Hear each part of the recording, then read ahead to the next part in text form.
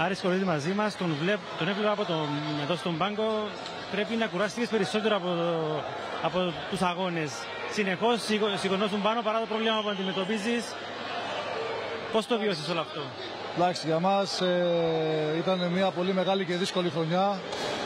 Ξεκίνησε, θέλαμε να κερδίσουμε τα πάντα. Στην αρχή είχαμε πολλά προβλήματα, αλλάξαμε προπονητή, αλλάξαμε ξένους.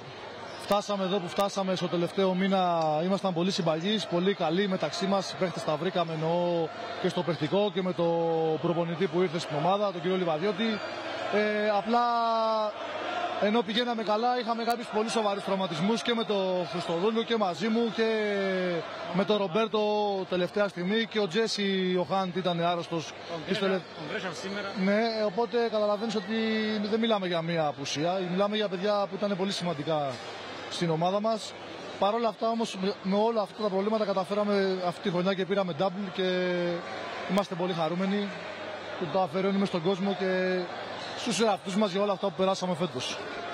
Θα σε δούμε και το χρόνο στα παρκέ. Εντάξει, ο... δυστυχώς ο τραυματισμός μου είναι σοβαρός. Θα δούμε το επόμενο διάστημα. Μπορεί να είμαι σε άλλο πόστο. Θα δούμε. Ευχαριστώ. Πάνω απ' όλα υγεία. Να σε καλά. Ευχαριστώ. Ακούσαμε λοιπόν και τον Άρη τον Κορονίδη, εδώ και ο Αντρέας ο Σιζόπουλος με την σύζυγό του στην ε, φωτογραφία. Είναι και ο Μανολόπουλος, άκουσα. Να, να πάμε να ακούσουμε τον Σωτήρη Μανολόπουλο. Σωτήρη, συγχαρητήρια.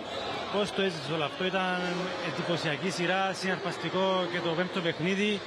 Η ΑΕΚ είναι πανάξια προαθλήτρια, ήταν πλούχο αυτή την περίοδο.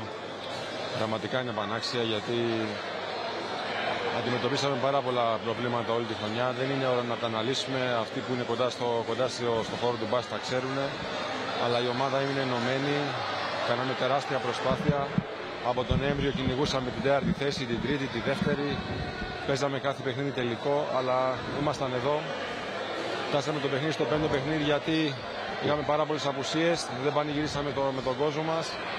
Αλλά δόξα τω Θεώ πήγαν όλα καλά. Ήταν ένα συναρπαστικό παιχνίδι σήμερα. Θέλω να μου πεις πώς το έζησες. Ε, είχε πολλά προβλήματα η ΑΕΚ στους ψηλούς, κυρίως με τους τραυματισμούς. Σήμερα με Γκρέσσα. Ο Μαντοβάνη έπαιξε ε, με, με ρίσκο για την καριέρα του. Άμα αρχίσω να σου λέω τα, τα προβλήματά μας θα, θα θυμίσει με νοσοκομείο. Αυτή η ομάδα έχει ψυχή, είναι 10 φορές συνεχόμενους σε τελικούς και έχει πάρει 6 πρωταθλήματα. Όσο η οικογένεια Λευκαρίδης θα είναι στο, στο μπάσκετ και στη Λάρνακα δεν έχει να φοβάται τίποτα. Εγώ τους ευχαριστώ για αυτά τα επόμενα τρία χρόνια τον κότσο τον Νικόλα που με έφερε πρώτα στην ΑΕΚ, τον, τον κότσο τον Λιβαδιώτη το Βασίλη το Σελά που είναι πρόεδρος. ίσως είναι και το τελευταίο μου παιχνίδι στην επαγγελματική μου καριέρα. Μπορώ να πω ότι ήταν τα τρία καλύτερα χρόνια της καριέρας μου. Το τελευταίο παιχνίδι είπες; Όταν κάνουμε σχέδιο, ο Θεός γελάει, αλλά πολύ πιθανό να είναι το τελευταίο μου παιχνίδι. Είμαι σίγουρος ότι θα απολαύσεις. Θα βγει γεμάτο. Αν φύγεις. Αν φύγεις. Αυτό είναι το μόνο σίγουρο.